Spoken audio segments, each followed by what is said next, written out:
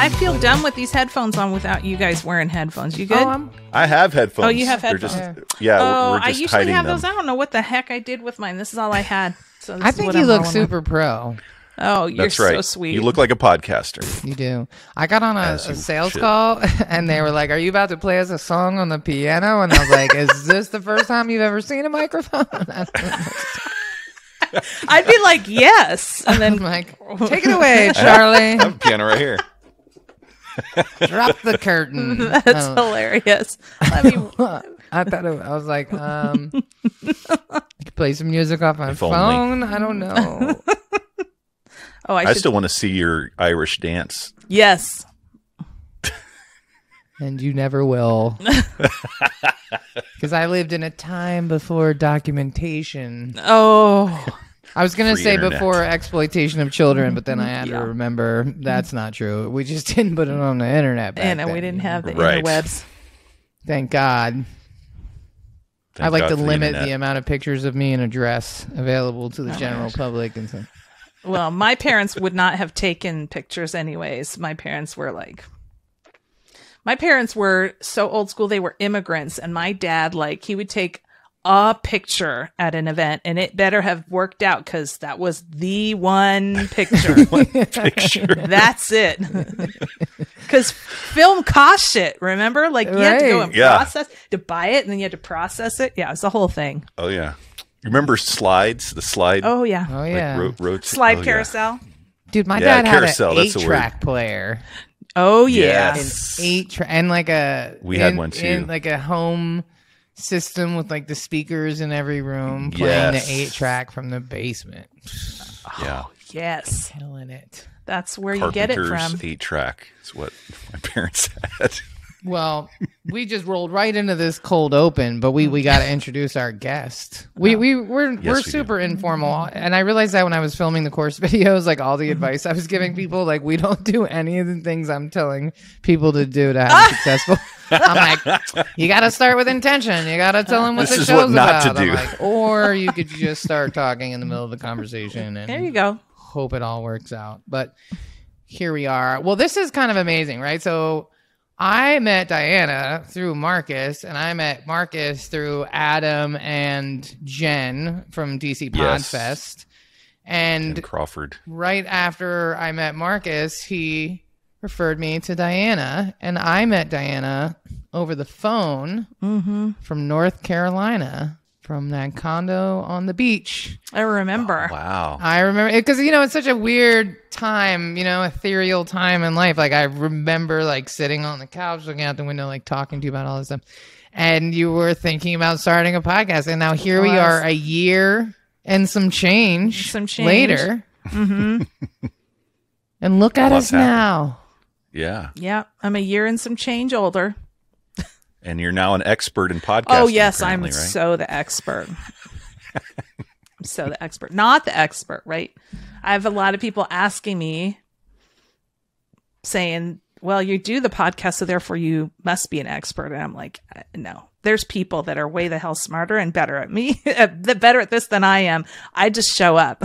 That's pretty much it. Well, okay. I mean, okay, listen, I will say thank you for the compliment. And we might be better at editing and some of the other things than you are, but you mm-hmm. are one hell of an interviewer.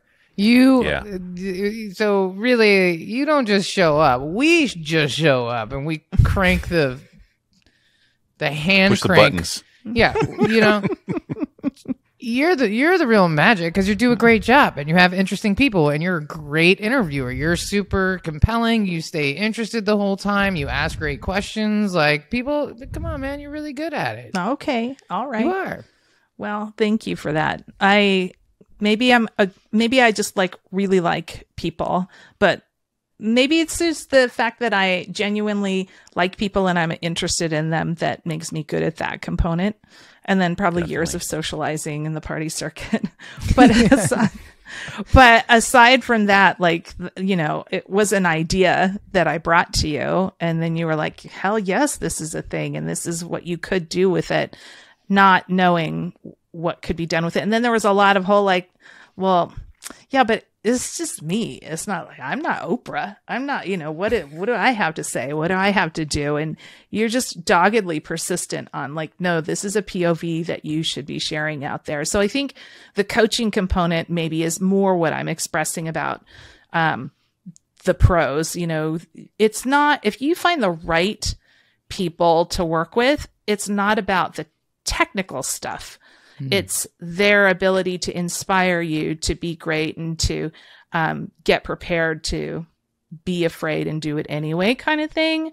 Um, and, you know, Molly's such a great cheerleader from a business perspective. I mean, she gets on the personal side for sure. Like, she just knows, like, Molly, you're so good about like getting into the neuroses and kind of turning the neuroses around into like, well, no, that's actually your power, not your weakness and um and then just getting people to try it. Almost like a coat just try it on. Just do it. Okay now try it on again. Now try it a different way. Try it with blue pants on. Try it with a t-shirt.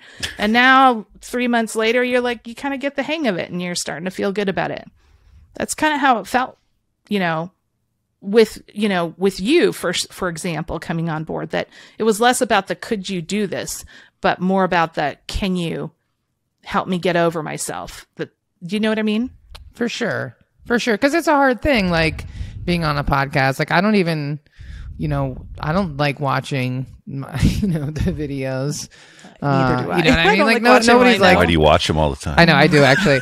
I do. I'm lying. Actually, I do like. To I watch think. Marcus does. We're we are the number one fans. We are driving That's right. listenership through Got the, to get the downloads somehow. through the dozens. You know what I'm saying? We're just skyrocketing right out of that. Um, yeah, I mean, well, you know, I just, uh, you know, what really struck me is you were just in this place with your business. Everybody was with the pandemic. It was like, oh God. do I even have a business? What is a Yeah. business? Mm-hmm. Where Yeah. am I? Right? Like what? Yeah. That's what I was going to ask. Why did you decide to start a podcast? Like, I know because you called me and said, "Hey, Marcus, can you help me start a podcast?" I'm like, "I can't. I would love to, but I can't. But Molly can." So, mm-hmm. why did you call mm-hmm. us and say, "I want to start a podcast"? Well, David and I were we were like trying to go what you know, what are different ways that we can find being out from a marketing perspective. We were looking at a, number of of ways, you know, should we spend more on advertising? Should we do um, branded content, blah blah blah, which I guess podcast is sort of branded content depending on how you position it. And I kind of had a bee in my bonnet about what had been happening um, um, culturally and then from a business perspective. And uh, the category that, well, so we do brand development. So we build brands in the um, food and beverage and natural spaces, uh, food and beverage and wellness brands in the natural spaces. And what I had seen was kind of a fundamental shift in leadership as the natural space had become infused with a bunch of investment capital from Silicon mm. Valley. Food tech had really exploded and now natural products was no longer this kind of fringe thing. It was definitely mainstream. So we were seeing leadership moving over from conventional brands, which is what we call the kind of non-naturals. You don't want to call them non-naturals. You call them conventional. And it was this um, significant radioactive yeah, brands. radioactive Yeah. brands. um, they were coming over and what had happened was in naturals, which was fairly um, equal in men and women, not very diverse, but more diverse than it is now from a percentage standpoint. And we were seeing a lot of white men moving over from there into this natural space.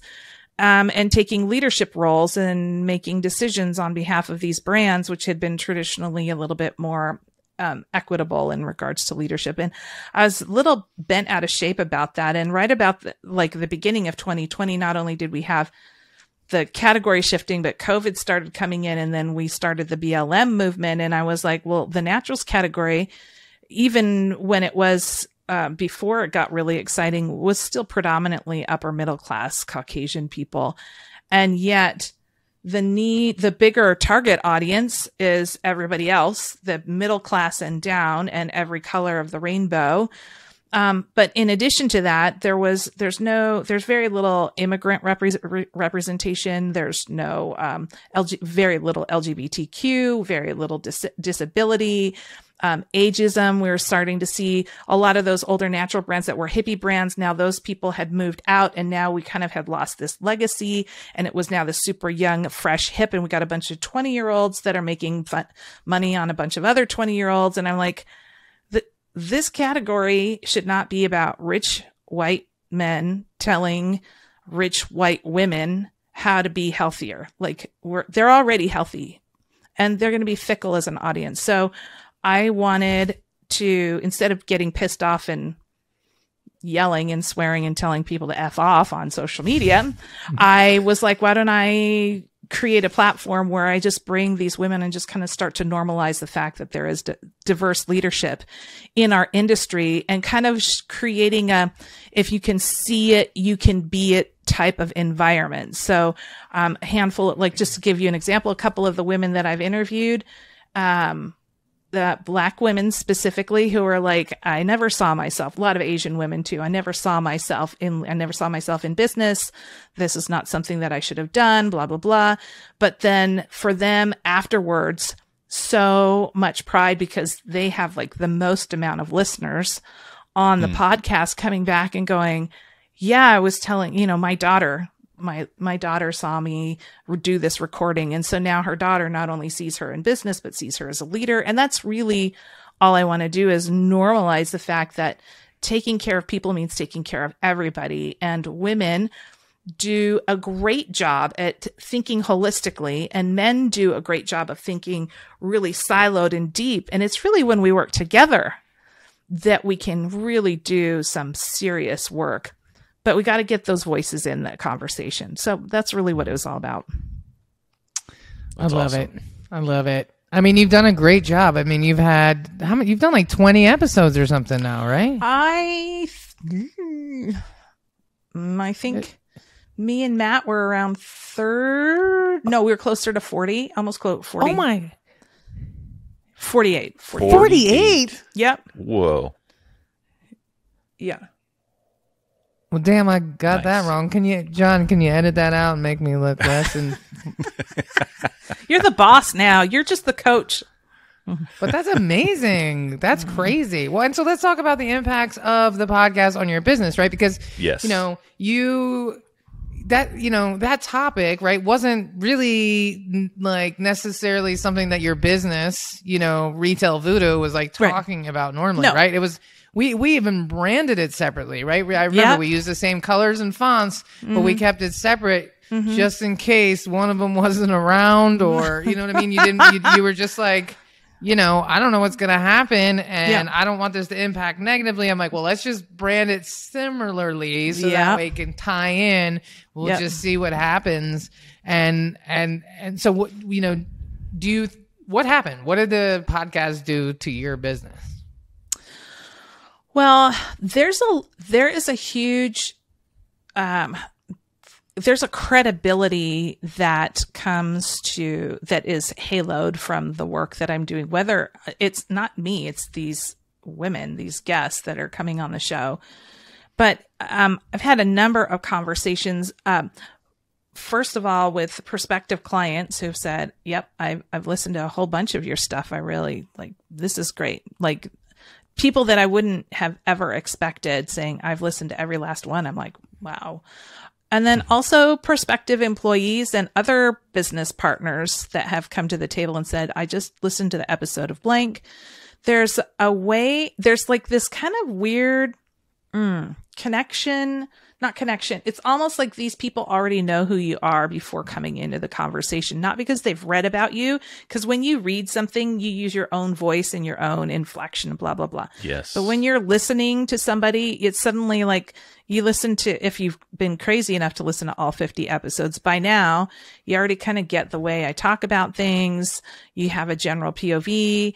So the weird, the hard and weird thing for me is those people come in already know me and I don't know them. So there's a little bit of, um, there's a little bit of me catching up in the conversation sometimes to get comfortable, to get at their level of comfort. Does that make sense? For sure. yeah. yeah so it's um, been interesting and then i have people who want me to be on their podcasts um, and uh, the, the one thing that hasn't done for me yet, and I think is just a period of time, is um, to kind of um, get in. There are some of those media content organizations that produce content for a fee and I'd like to get there but I see them on the website now I see them um, on my profile so my hope is is that one day um, I'll get a call from like those desired media outlets to have a say or to be on a panel of some sort or whatever and, and mostly I know this sounds so weird not because I want the business don't get me wrong I'll take the business every single day. But if I can have an impact and have people see the way, see what power they have in what they're doing outside of just selling product, that yeah. would be, for me, at the end of the day, that would be great. I love it. I absolutely that, that's, it. Uh, yeah. And like, ha- like, so you called me because I do the Two Bobs podcast. Yes. With, which is a couple of old white dudes.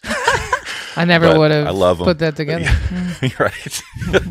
but they have uh, they do consulting and yeah. you know they're the ones that like you got to do podcast and and I've I've had quite a few people call me mm-hmm.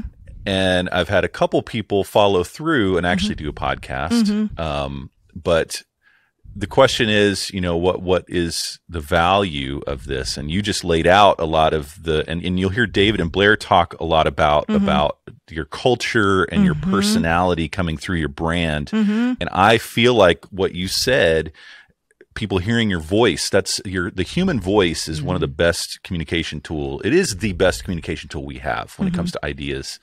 And video helps for sure but if it wasn't for the sound of our voice getting in our prospects' brains, that's really to me the value of podcasting. The challenge though is when people come to, to me and say, okay, when am I going to see a return on this yeah. investment that I'm paying you? And it's like that it's, you have to think bigger than that, right? Mm-hmm.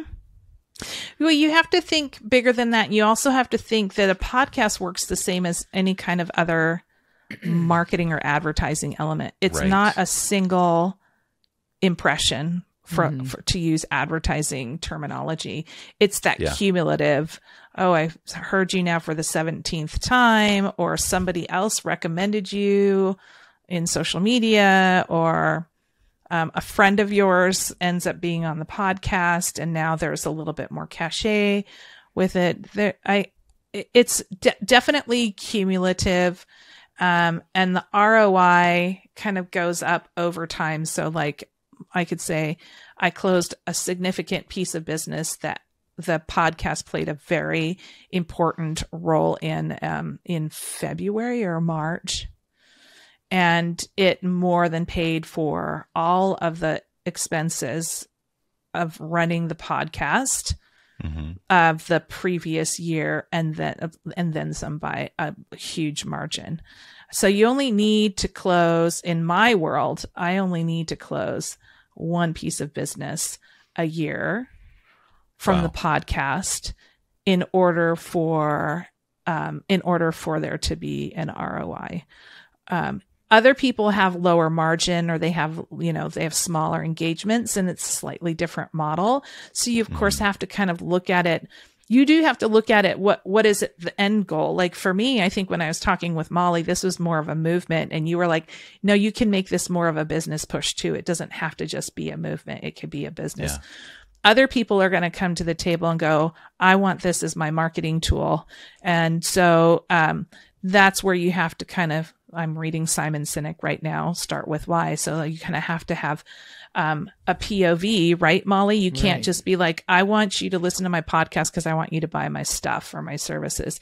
Right. You have to figure out exactly why you exist. Otherwise, you're just more noise and then you're not going to get any kind of returns.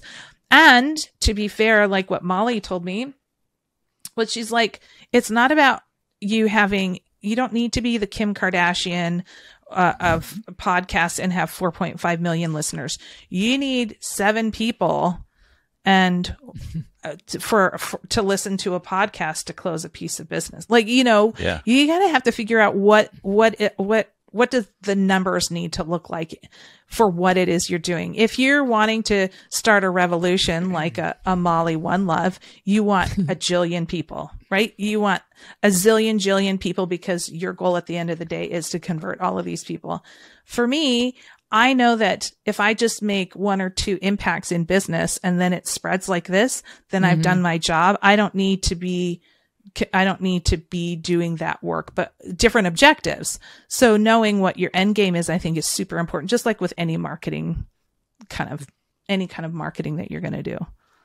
Yeah. Well, so and that brings up a good point, right? It's like, you know, having a very clear call to action and just being realistic because, you know, you know, even, you know, if w- for you one client could pay for the year, maybe for somebody with a smaller engagement, mm-hmm. maybe it's one client a month. Mm-hmm. But like if you get 50 people to listen to your podcast, like yep. turning one of them into a client shouldn't be that hard if, yeah. you know what I mean? If you're if you have good content and if people mm-hmm. know that mm-hmm. you're passionate and mm-hmm. intelligent about that topic, you know, it's like, mm-hmm. you know, I have another client, ICQ, I, IQT, and they do like a geospatial satellite mapping podcast. It's like GitHub, and I'm like, I have no idea what you got. I could be in the room, and I'm still like, what, you know?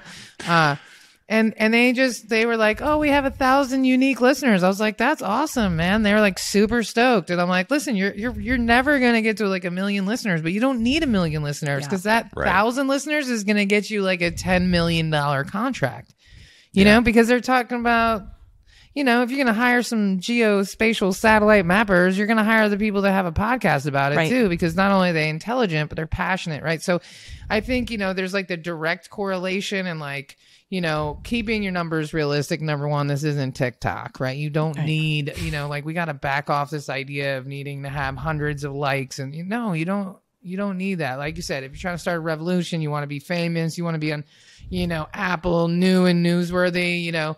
well, you better put some money and get a PR person behind that yes. if you really mm-hmm. want to do that. That's a whole other ball game. But from a business right. perspective, how many ears do you need?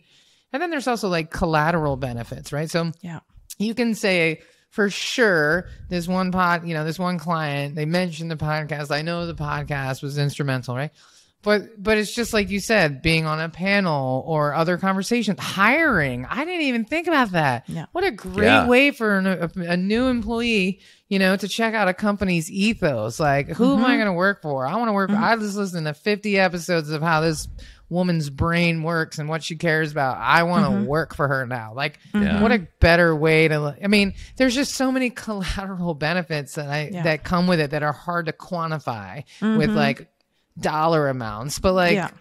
you know, because then it, you know, that panel discussion or that speaking opportunity, like, how many deals did you get from that? How many leads did you get from that? How many other speaking engagements did you? I mean, it's just like, you know, when you really start opening your mind to those possibilities you know and that's what that's what's hard. You know i reference you a lot actually you know talking to people. It's like oh you're sweet. Well i do because you know you were like uh, you know i'm not i'm not sure. I think this is going to work and this is important to me but i'm really not sure and i'm taking a risk and i was like mm-hmm. you are but i think it'll work.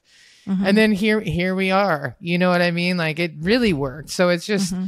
it's cool to it's just cool to know that like we're on the right track with things to see it yeah. play out, right? Because I don't want to yeah. own a business that just takes money out of people's pockets and then it doesn't work. You know what I mean? Like that's like no, I believe in this stuff. You know what I mean? That's why I teach yeah. it. That's why I'm excited about it. That's why I mean I've been elevating and amplifying voices for 20 plus years, right? This is just a different extension of it. Mm-hmm. But to mm-hmm. see you know the the direct results and to have you know clients like you who like come back and speak so highly i mean that, that's like amazing that's amazing mm-hmm. right it's the best mm-hmm. you could hope for when you own a business is that yeah. that it works you know so yeah and and what a great time to be able to you know express solidarity you know diana mm-hmm. lives in seattle so you know while while president you know trump was clearing the streets for his bible shots you know, they were like, you know, shutting people down in Portland. So ours, you know, our climate was crazy mm-hmm. similar uh, mm-hmm. last year. And what a great way to take all that energy and channel it into something productive. Making yeah. a difference. Yeah. Yeah.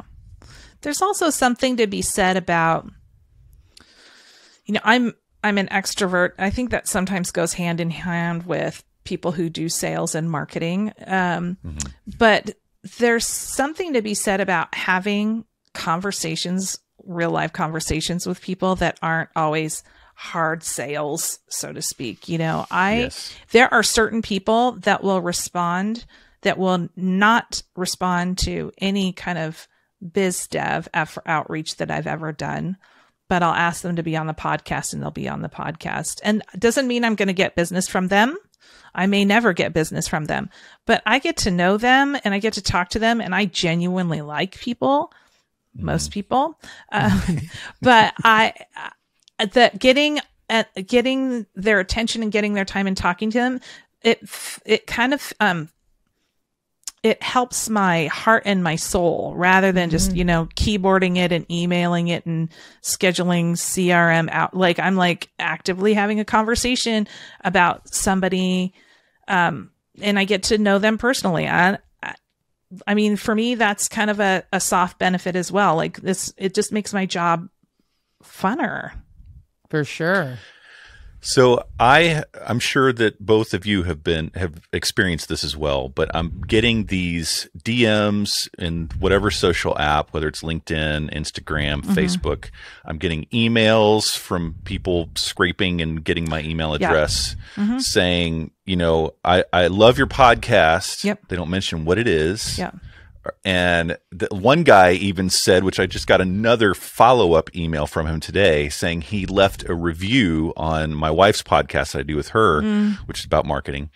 And he's trying to market to a marketer. Yeah. And he's it's like the like what you're saying, it's like this cold pitched thing. Yeah. Like, I don't know you. Why why Yeah. should I even respond to your email? Yeah.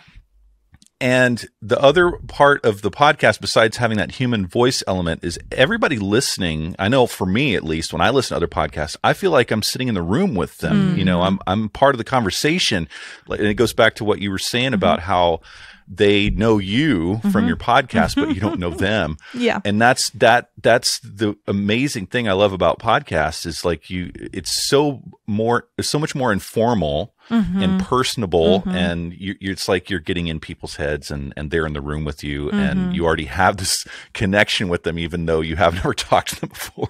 Yeah.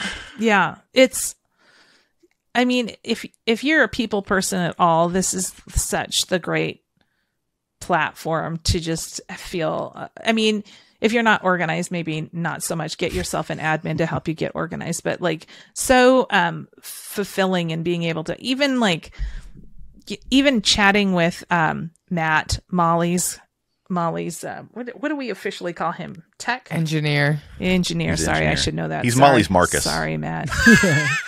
Yeah. Ma- I Sorry, mean, Matt. Even having that that regular check in with Matt, and Matt is, you know, he's a tech guy, so the soft the soft skills aren't quite the same as Molly's, but he's yeah, you sound great, and you're like, okay, okay I'm good, okay, I'm good. Just you know that added.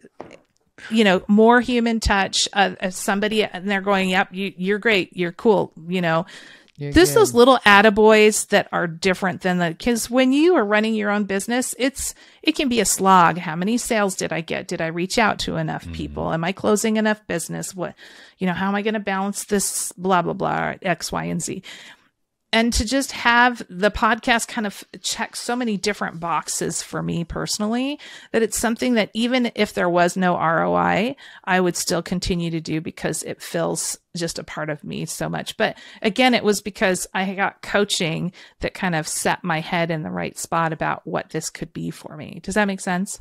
for sure. Yeah.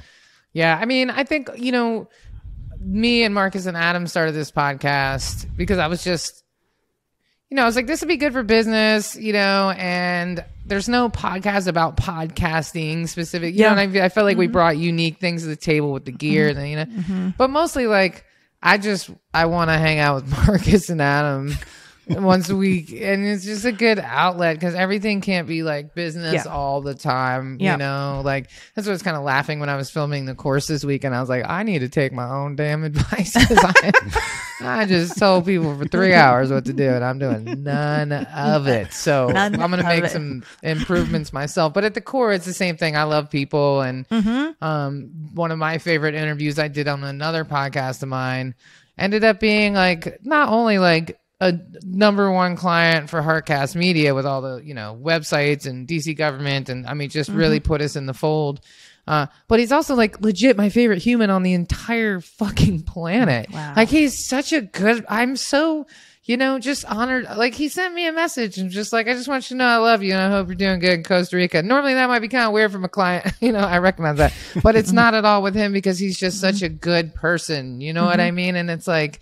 And it came from that interview where I researched the hell out of him and I asked him questions and I asked him about when he was a high school mascot in, Oh you know, upstate. New York. And Yes. so and so now apparently all the like um school teachers from Sackett Harbor are like, We're famous now. We were on a podcast. and so he said the last time he went home, everybody was making a big deal about the podcast where they talked about Sackett Harbor. But you know, yeah, it's that human element, you know what I mean? And it, and for sure it was good for business, but it was it was even better for my soul, just getting to find out what makes him tick and who lit that fire and just, you know, all of those things. Yeah, I think there's a real need for that personal touch right now too just with everything going on and like we're as we're all saying we are far from through the thick of it you know um you know i was just uh, had lunch with a friend and business partner and i was like you know part of me is like super hopeful and like planning for the future and like building retreats and launching this business and like you know getting in shape and feeling the best i've ever had. And part of me thinks we're all gonna be dead in 18 months. I don't know. I'm just saying like i just you know what i mean? Like I, I believe that both of those things are possible. You know what I mean? Maybe Yeah. not 18 months, and I'm not trying to be all like doomsday, but I just, Yeah. Maybe six. I don't know. Yeah. it could be 24, you know, but like it just feels like a weird time, right? Because I am excited about the future as long as I stay off the internet and don't read the news. don't go outside and talk. But other than that, you know what I mean? I feel great. Um, I'm just kidding. But like seriously, it's such a weird time, right? Because I feel like we're in this like global consciousness shift, but then like half of the people didn't get that memo and they're they're just sort of dragging us down and then Oh. everything just keeps mutating and I don't know. I just feel like now more than ever it's a good time to just maintain or or create personal relationships and if you can be the voice in someone's ear that makes them feel better, that's awesome. You know, what I Yeah. it's Yeah. really it's really awesome. You know, it just because what else are we doing? You know, Yeah. if we're right. not finding ways to connect with one another. Um, and I think, you know, one of the things that really bothers me about like um, social justice work is a lot of times people say, like, we're giving people a voice. And it's like, no, man, people have voices. It's, that's like some white saviorism. Like, you didn't give, Right. okay, God.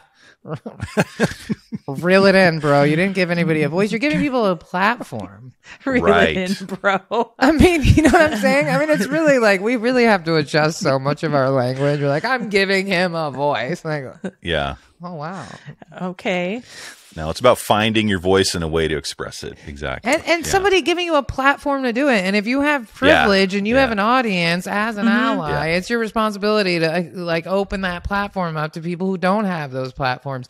And that's what your podcasts and lots of podcasts do. But that's Yeah. what yours really did. And I think that's the best way to do it because you know we're not you know the, the saviorism thing. It's a weird it's a weird place you know? And so instead you're like talking to somebody and finding out about them and sharing their story. And i love what you said about the woman whose daughter gets to see her in a different way. Like wow like hmm you didn't think about that but that that's so cool you know? Yeah. uh so yeah I, i'm all for it. You know whether it, business podcast or personal podcast it's still Yeah. It's all the same because i Yeah. especially i think moving forward people want more humanity in the businesses that they Agreed. yes. support Yeah. Yep. I'd even say one of the things, you know, as I'm sitting here listening to what you have to say, I think part of it is that that you know anybody that's listening that's considering a podcast is um, a- I think sometimes a weakness all of us humans have is um, being afraid of making mistakes or asking stupid questions or not being able to get it right. And um, I actually embrace all of that but I am I live with like mm, my business partner really wants to know everything before he moves forward into the next step. And I'm a little bit like, okay, well, I'll fall down 12 times and get beat up and then I'll figure it out along the way. But I know more people who don't, don't want to look stupid or don't want to look dumb or don't want to mess up. And what I want to say is, is like, just ask because when you ask, like me reaching out to Molly, I'm, I'm going to speak for you, Molly, and you can tell me if I'm full of shit. But eh, what me reaching out to you and saying, I'm afraid. I don't know what to do. Is this the right thing? Am I crazy? Will this be fun? Will it be hard? Gives you, like me asking you, gives you the opportunity to reach out to me and help me. And that has a, there's a level of fulfillment for you that had I not asked, you would not have had the opportunity to do. And I mm-hmm. think a lot of times people forget that asking is actually a two way dialogue and me like me going marcus who should i talk to? He can't help me but he found somebody else. Like yeah you should talk to molly. Like even that is um, an opportunity for marcus to uh, give himself some value of being able to help somebody. So i you know I, I kind of i always have to remind myself that just even the even the act of asking is helping somebody else fulfill something that they themselves want to be for somebody. Does that make sense? I just 100%. Yeah. That's awesome. Yeah, and to go along with that idea too of how we're all growing together and we're all helping each other. Mm. I'm going to say something that I just like I feel strongly about now f- because of this conversation mm-hmm. that if you are a business consultant of any mm-hmm. kind, if you are helping people with their business like the three of us do, mm-hmm. you have to have a podcast.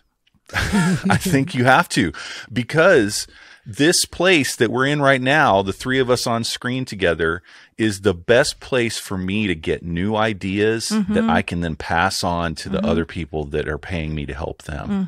Like it's through these interactions with these people that I w- wouldn't otherwise be able to talk to that I get to grow myself Yeah. and then therefore grow my business because I'm developing through learning from you two and I'm going to be able to pass that on to somebody else. Mm-hmm. It's a beautiful And that thing. doesn't ha- doesn't happen on a blog. no. no, blogs a- are talking at people. right. Or a, or a vlog cast. Right. Remember when we invented the vlogcast? Like the three months ago? vlogcast. What is that? I don't. Do I know? It's It a sounds video. like a disease you get from like blog. being barefoot for too long. Honestly, it's like what you got a nasty case of vlogcast on your foot there, Timmy. Um, you got that um that accent down pretty good there. well, I did live in North Carolina for six months. You know what I'm saying? All you got to do is slow everything way down. So, there, so at for one point in my life, I was a secret shopper for hotels, resorts, and casinos, and so oh, cool. I traveled fun. all over the United States and Caribbean, staying in hotels, and then like you know with the like white glove and checking the you know, and some of them were like crazy, sketchy places, and some were really, really nice. But um, I got to be whoever I wanted to, and so one time, me and my best friend, who has an excellent sense of humor, we decided to be real Southern, y'all, and we we stuck with it for a whole weekend. I my stomach hurt for a week after that from laughing. I'd be like, check your arm clock and see what time it is. You know, like I mean, I just we we went so hard on the you know, and so it's always there. I can I can just pull it out in a minute, right, right there. little too It's, easy uh, there, Molly. Little too easy. Right. It was the most fun I've ever had in my life because you just get to be, so you know what I mean? I was like using a fake ID and fake name and checking in the. It was pre 9 11, Uh, you know. I'm um using arm clock for the rest of my life It's right my now. favorite. Check your arm clock. Yeah.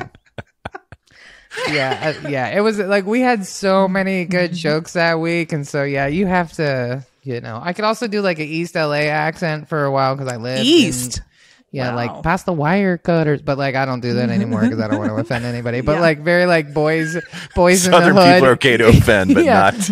yeah, Southern people, whatever. They they got it Whatever. coming. Yeah, you can get back. It'll native take them people. four or five months before they figure it out, anyways. Well, they get offended I- at anything miss anyway. all. So Well, not. like- I mean, maybe parts of North Carolina, but there's a lot. North Carolina is changing pretty rapid. It is I don't know. actually. yeah, yeah. yeah. Well, you want to, this is totally off topic, but when I lived in North Carolina, I did a little research. I'm like, where the hell do I live? What is this place all about? Yeah, yeah. Uh, and apparently, like the late 1800s, I think it was. I don't. I get always really bad with numbers, but in the Yeah. past, uh, the town was very Republican, and all the Republicans were. There was like black people, and like it was super diverse, and Yeah. they won a bunch of elections.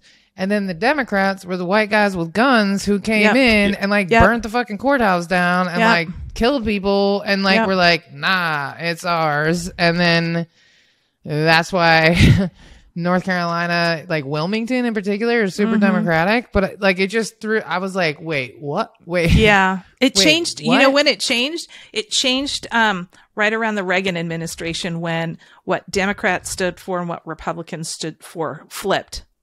Yeah. I was I was so confused. I had no idea. I was like, dude, Mhm. what? Hold, Mhm. what?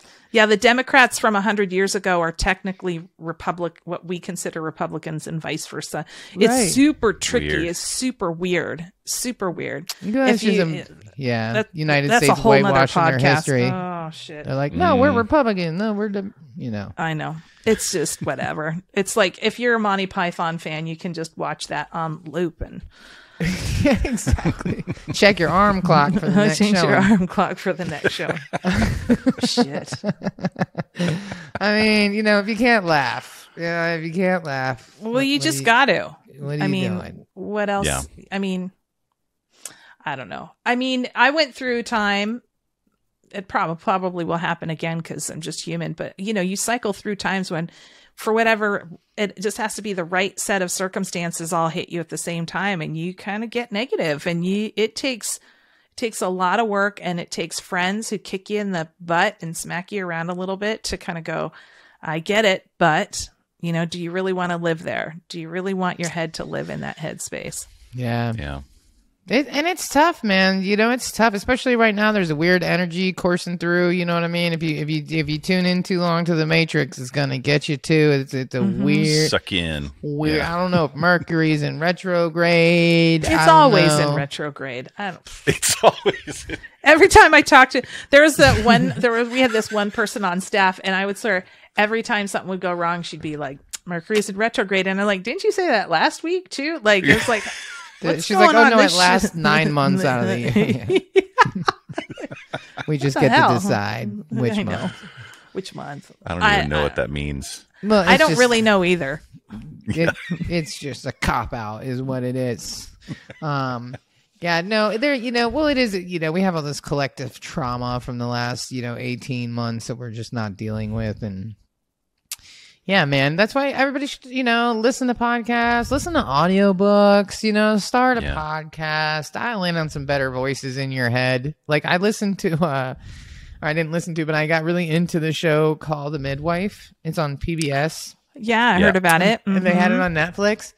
And it's like you know East London, the '60s, and it's about the the midwifery, and and they lived in the convent with the nurses, with the nuns, and they would deliver babies, and just the condition. It's a fascinating show, but their language is so like it's just so beautiful and descriptive, and they're you know, and I'm like, I think my vocabulary consists of like ten words, and like fuck, crazy, and like shit are three of them, and I'm like, I really need to level up my vocabulary. Good God! But I like, I, there's like ten seasons of it, but it's just so lovely. And then Renette, uh, Vanessa Redgrave does like Mm. a summary at the end with her super beautiful voice, you know. And I like cried at the last episode because like Oh, I missed their voice. I missed the cadence of the way they. I just missed it filling the Isn't house because it was right before? I left too, and it was just getting colder Oh, and darker every yep. day. And they were like my, you know, uh, with their like very innocent humor. It's a bunch of nuns, you know what I mean? But it was it's such a good show, and I feel like podcasts and audiobooks are that way. Um, except the podcasts get to grow with you instead of just like a series you're watching. It's Yeah. like you can evolve with them. So Unless you're like Adam and you're obsessed with true crime podcasts. Oh, I Living in a love true dark- crime. well, now he knows how to kill us all. Love making true fun of his crime. microphone Yeah, every week. true crime's the best. Oh, I don't you're know. one of them too. I oh. am. Well, look, Ted Bundy is from my neighborhood. That and so oh, well, then you got to. So- you don't have a choice. I'm not. I don't fully understand the correlation. The- the there, connection. but- I don't understand it either. I'm making shit up right now. But um, I in when I was in my early 20s, uh, I I read um Ann Rule, who writes true crime books, and her first book was Stranger Beside Me, which was about Ted Bundy, and I read it. And I think the reason why I got into true crime is when I read the book, pretty much like he worked at the University of Washington, which is walking distance from where I live now. And most hmm. of his crimes took place, like all of the places that these things happen. Like I went there, I'd been there, I'd known them. There was like this personal like connection to all of these spaces. And so then I started reading more true crime about crimes around Seattle, which was a bad idea because then I started to be like asking security cards to drive, walk me to my car at night and stuff like that. I don't want to walk to my car by myself, but whatever. I don't know what it is. The psychology of somebody as brilliant as Ted Bundy, who smarter than shit, like super, super smart guy and decide that this is what he's going to do with his life is kill people. Like it's such a bizarre. You should have started a podcast. Should have started a podcast. I would have been.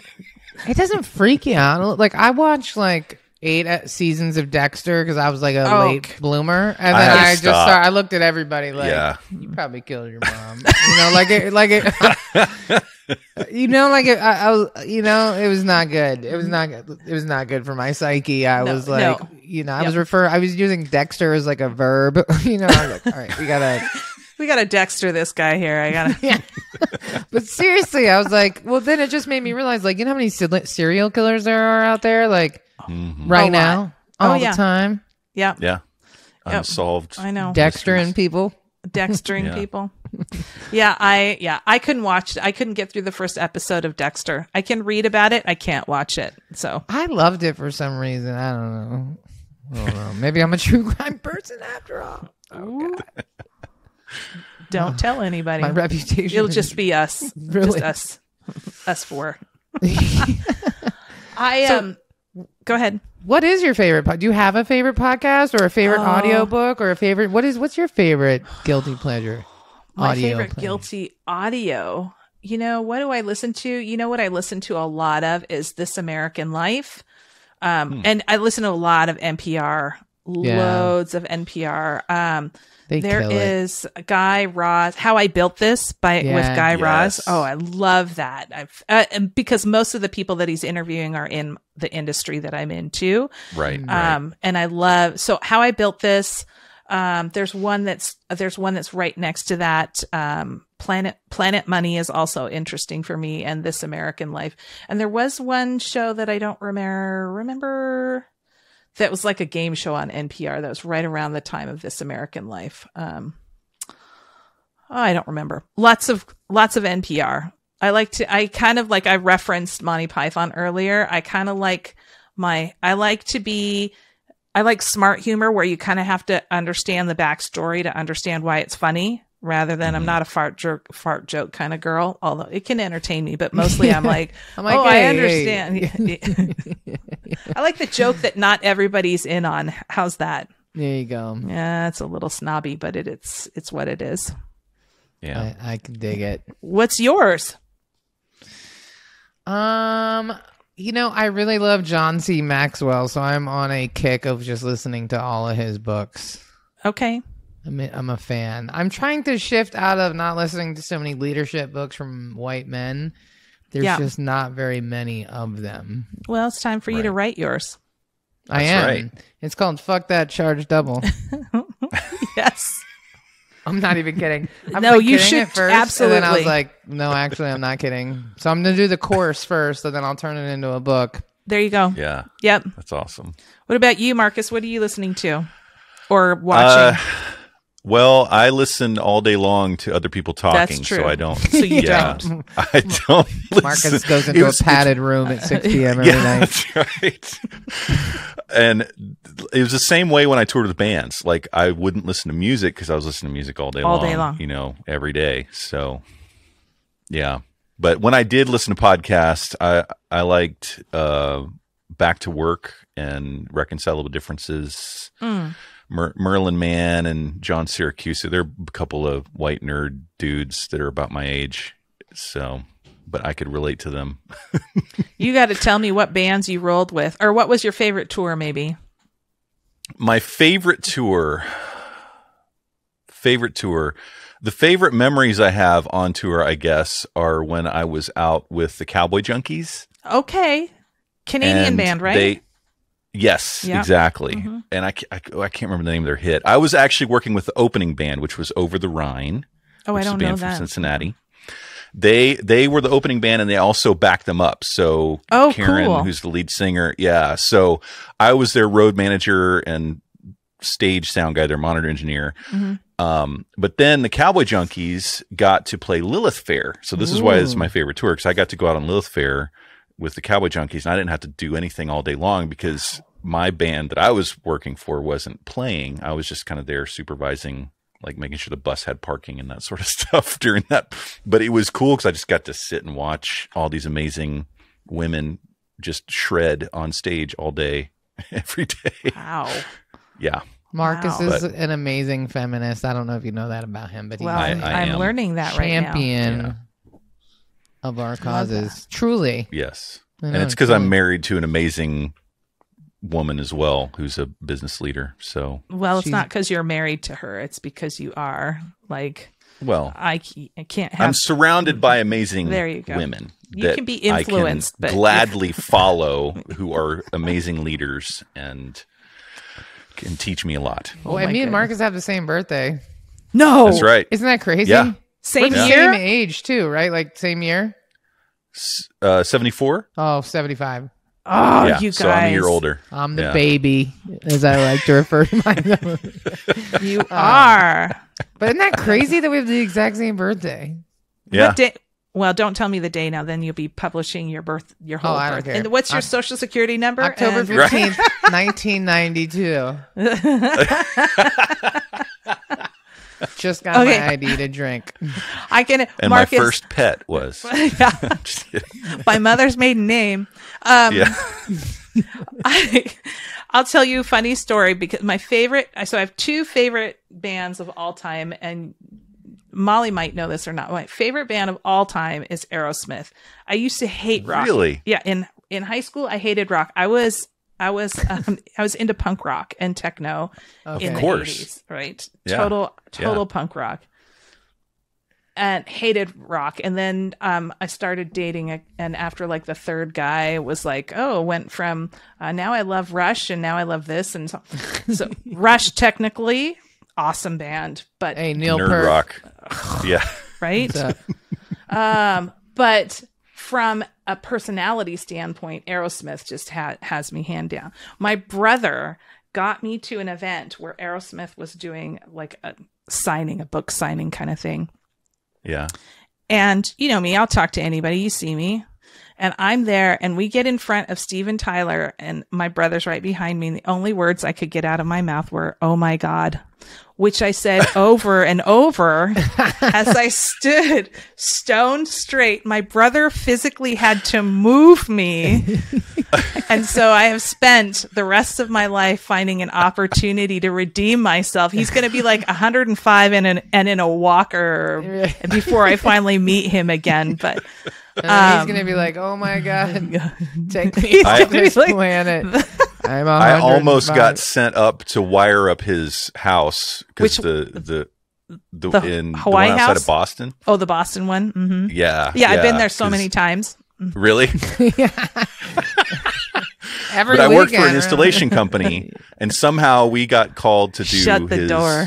Yeah, but what my my my coworker got to go instead of me. So, Oh, but well, he's a wee little guy. Like he looks, he? Yeah, he looks wee. I mean, he looks really tiny on like right. A camera always makes you look bigger than you actually Yeah, are. yeah. And he looks skinny. I saw him in real life, and I'm like, hmm, he's really small. He's Is he short too? um, n- no. I mean, think he's Okay. average height, but he's so damn thin. But he's just you know. skinny. Yeah. Yeah. Well, if you know, if you're running, I think I heard you would know this, but if you're running on stage the equivalent of a full marathon every night, you're Oh, not yeah, going to yeah. be, you're not going to be a big person. And Oh, I he has a never really very, thought about that because he is so physical with his performances. Oh yeah. yeah. It's a And they that's what they're saying about like, you know, until they get older and stop moving around on the stage. But you look like even, um, um, Like the what's his Kansas face guys. Rolling Stones. Like, there's a reason why those guys are skinny. They're like r- running physically. Right. Well, Well, on the that and all the the drugs too. Oh yeah, well, that and eat when- cocaine. But yeah.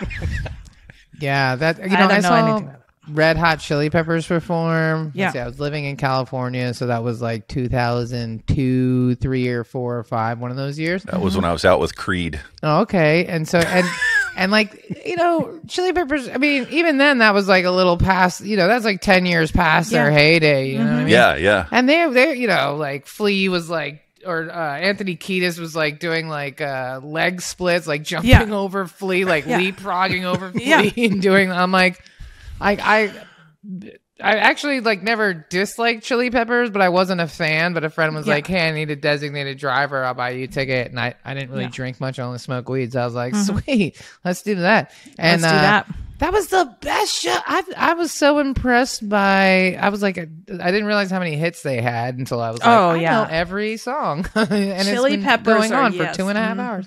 Mm-hmm, And it was such a physically impressive show. I I walked Yeah. away just being like, hats off to those guys. That was that was the real deal for sure. Absolutely. yeah. Yeah, it's funny like hearing our passions for live events coming out because you know I don't miss touring. I don't miss doing concerts anymore. But I, there is something special about being in a room and experiencing a unique moment, especially when there's music involved. You know it, and I guess there's an element of that with podcasting, and but it's recorded so that it gets you know. But we're probably not ever going to have this conversation with anybody else, you know. No, so no. Yeah. just people can listen to it again if they want to. It's a different time. I I went and saw um, Phish. Oh, I'm sorry. I hate even admitting that out loud. I fucking hate that band It's more than anything. not. I do They're too. not bad. Come on now. Yes, they are. Bag it, And- tag it, Uh. sell it to the butcher man. No, I'm like, stay on, pick one, pick a rhythm. Stick to it. Finish the song. Phish, yeah, It's because- been 25 minutes. Let's move on to another song. yeah, exactly. Well, that's why it's a jam band, Marcus. But um, I know. but I went to see them in Vegas at the Thomas and Mack Arena, which holds seventy thousand people. And Yeah. you know, there Chris Kuroda, I think his name is the light guy, is like world renowned, like the Phish light guy. Yeah. I I felt like I was on insane amount of drugs. I was sweating. I felt like I was levitating out of my chair. I was stone cold sober, but like the lights and the Wow. intensity and seventy thousand, and I'm sure everyone The else energy. was on drugs. So I was. I was probably Just in the abs- air. It was. I probably was getting rained Absorbing. on ecstasy sweat. Honestly, that's like, there was like precipitation was happening inside That's of the venue. disgusting. You know what? I think that actually happened because I was in the chair like like I was so hot and I literally felt like I was levitating. Stone cold sober. But yeah, I mean there's something to be said, right? But but I don't know. Did you guys see the pictures of Lollapalooza? Like I did. No. I'm literally like Super spreader. like, the anxiety that it gives Oh. me. Like even even if there wasn't a pandemic, I still think that picture would give me anxiety. But like yeah. Yeah, I don't. Th- you know, I loved my time at big events and Thomas Mhm. and Mack Arena, but like, I don't. Those days are gone. I, I'm never yeah. going back into that kind of a situation again. Well, also, I live in Costa Rica now, man. I, I like live in the jungle and like I drive on dirt roads and like I drive a 19 year old car. Like my uh, what's normal is is is like a 40 year time warp. You know what I mean? I'm Mhm, like mhm. even just being on paved roads. Like when I came home and the sun didn't set until, until like nine o'clock, and I was like, "What is happening?" I was like, I was like freaking out. I'm like, I know I grew up here, but just like, you know, you just, you know, I Yep. live really close to the equator, man. Everything's the same every day. It doesn't change. Weather's the same. Temperature's the same. Same amount of daylight. Same amount of sunlight. And so, yeah, you you know, you just adapt so quickly. So I don't really see myself ever being comfortable in like the same scenarios that I was No more comfortable Phish in before. concerts. Yeah, no more. I saw that picture from Lollapalooza though, and I was like, "Oh, who the hell approved that shit?" Like, Right. Well, I can tell you. well, I'm sure you can. T- you probably can point me to the exact person, but I'm like, okay, well, great.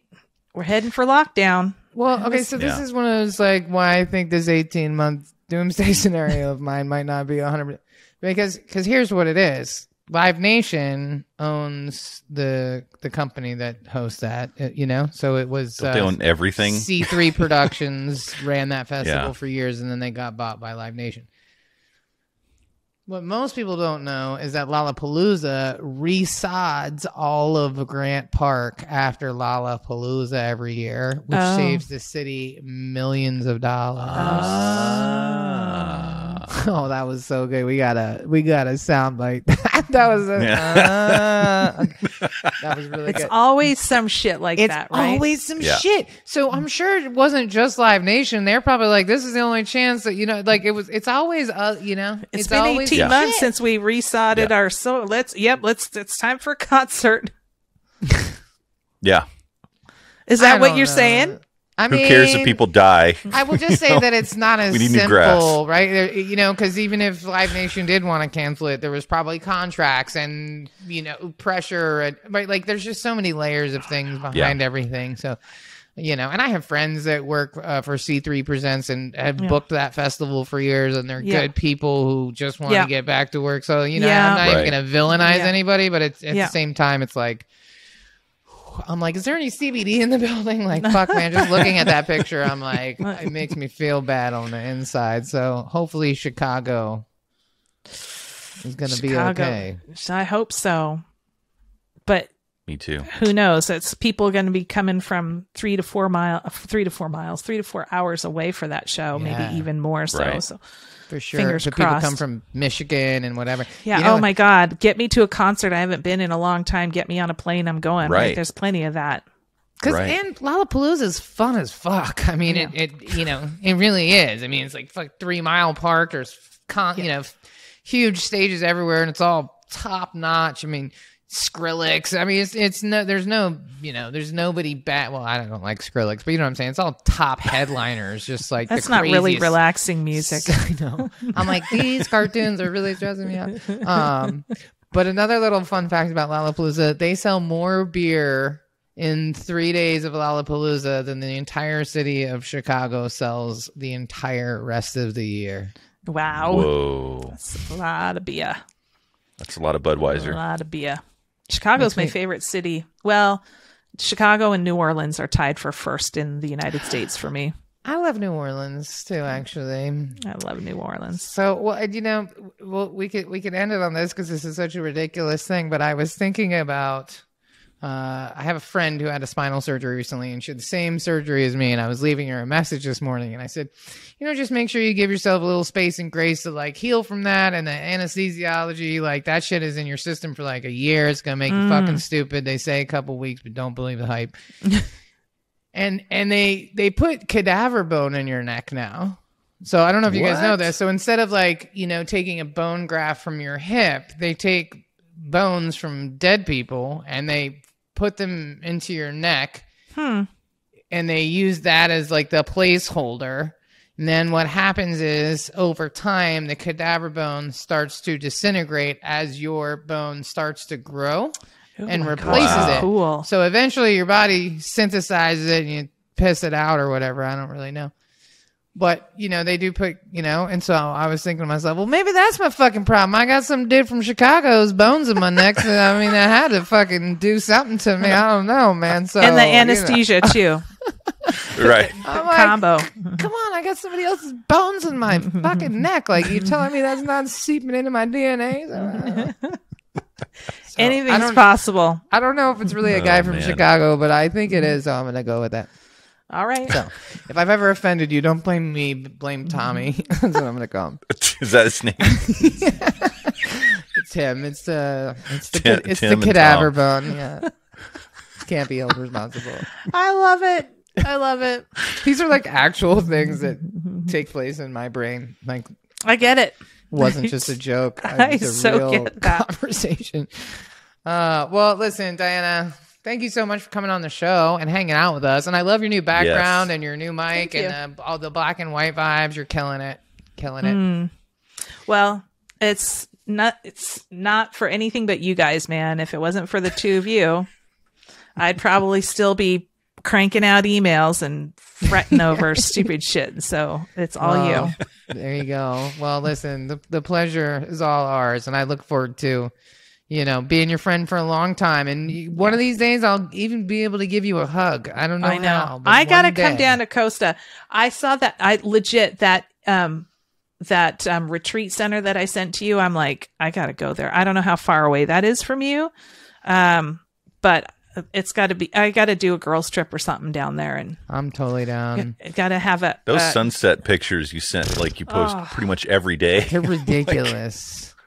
I'm like, oh, it looks like cotton candy. Oh, it's surreal world Tuesday. out there. It's Tuesday for Molly. No big deal. I know. Sometimes I'm like, whatever, it's fine. You love it. You know. Yeah. Well, I like to. I was really paranoid about sharing for a long time because of the break in and just not want to be like, Yeah, oh, you're I Costa got that. Rica," You know. Um, but like I know people are interested, and life is very different right down here. Like you know, when there's a herd of cows moving through, like. you know. Listen, when I when I go on to social media, I don't mind the occasional shit's horrible because I want to know what's bad. But I'm way more excited about like, oh, look at this thing that Molly's doing again. That's right. Uh, like, oh, look at my here's my godson smashing a cake in his face. Like, that's the kind of stuff I want to see. You know what I mean? Yeah. All of that. I want to see the good stuff, and I want to see way more of the good stuff than the crappy stuff. I don't want to be dismissive. I know there's bad stuff out there, and I um, expose myself to it. Like my friends put some stuff up on there, but I'm trying to work really hard and kind of go, oh, people don't want to see me as this all the time. I can talk about it, but I've got to have an equilibrium here. And so I want to see all the good and I want to see all the bad. That's part of being somebody's friend is seeing it all. But Yeah. um, I do like I want to I want to be enjoying your life with you. Well, Yes. come on down. I got an extra bedroom and a treadmill. Pictures of Lily too. And a and treadmill. a treadmill. Done. Bar. Yeah, dude, ev- life is a bar in Costa Rica. what are you talking about? All Everywhere right. you go is a bar.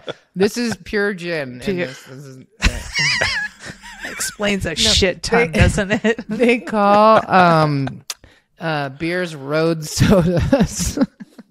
Road soda.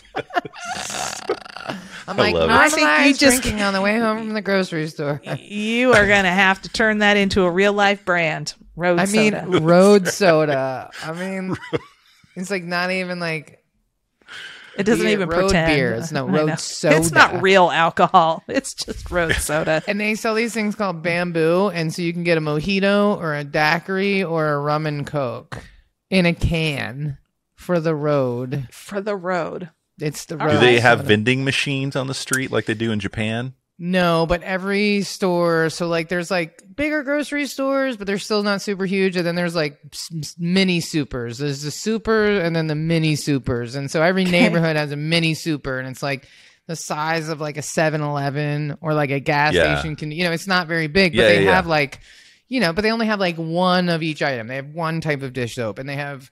You know, maybe two or oh. three types of bread, but like one type of cocoa powder and one type of. So you can go in there and get cleaning supplies, produce, bread. There's some meat in the, you know, in the refrigerator. You know, so, so you can live. And your street sodas. you know, and a road soda, and then every Or road soda. place, yeah, any street road, it don't matter.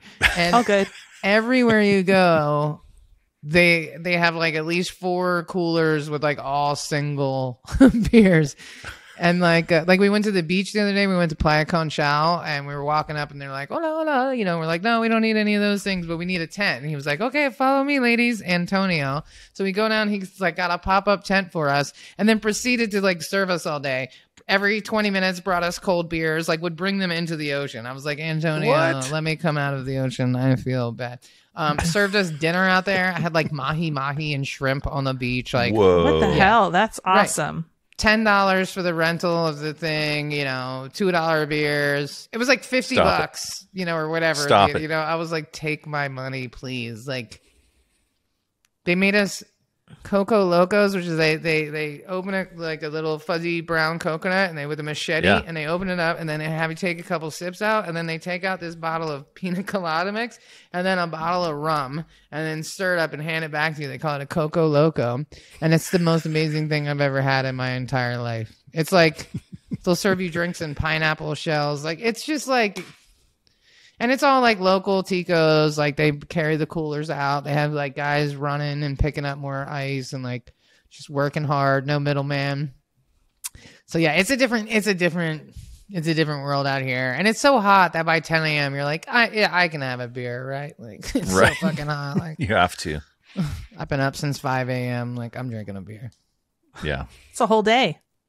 I mean, that's what I'm saying. So, Yeah, so you'll both have to come visit sooner than I later. think so. I think so. Definitely. I'm on board with that. I'll pick you up from the airport with a cooler full of road sodas. I love it. Straight up. It'll be glorious. That'd be awesome. Absolutely. All right, y'all. Well, thank you again, Diana, for coming on the show tonight. We really appreciate it. Uh, this episode will come out next Monday, and uh, if you Wow. lis- I know. Well, you know, turn around. Well, if you're listening, it's this Monday. Well, yes, if you're listening now, it's not last Monday. Don't freak out. You're not having an existential crisis. You might be, but not because of this show. Yeah.